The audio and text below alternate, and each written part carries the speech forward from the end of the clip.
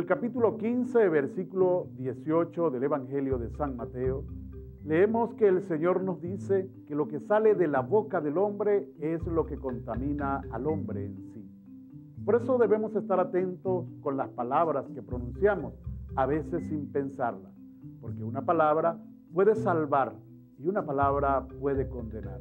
Una palabra puede dar vida a alguien que en un momento determinado lo necesite, pero una palabra también puede hundir a alguien que esté desanimado. Un grupo de ranas atravesaba un largo camino por el bosque y en el trayecto encontraron un hoyo muy profundo. Dos de ellas cayeron en ese hoyo y comenzaron a dar saltos inmensos para tratar de salir a la superficie.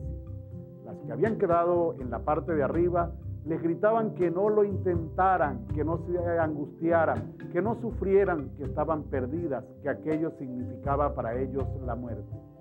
Una de ellas se dio por vencida y dejó de saltar, pero la otra comenzó insistentemente a saltar y a saltar y vio como su compañera estaba muerta y ella daba más saltos, cada vez se impulsaba más hasta que logró salir a la superficie. Cuando estaba en la superficie, las demás ranas se alegraron porque había salido, pero le dijeron, nosotros te gritábamos con insistencia que dejaras de saltar porque no había remedio, que te quedaras tranquila. Y la rana les explicó que ella era sorda. Y como era sorda, entendía más bien que lo que le gritaban era que tratara de salir.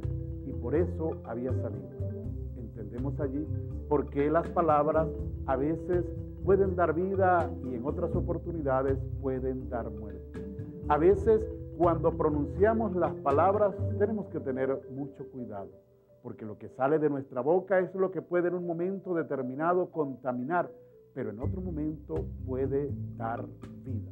Y Jesús es vida y vino al mundo para que tengamos vida y la tengamos en abundancia y nos acompaña en cada momento de nuestra existencia para que seamos vida para las demás personas que se apoyan en nosotros. Orientemos nuestras palabras siempre hacia el bien. Orientemos nuestras acciones siempre a ayudar a los demás, teniendo en cuenta que nuestras palabras tienen que ser siempre palabras de vida eterna, palabras de salvación, palabras que lleven el amor de Jesús a tantas personas que lo necesitan. Que nuestras palabras sean siempre el Evangelio de Cristo anunciado a los demás, hoy, mañana y siempre.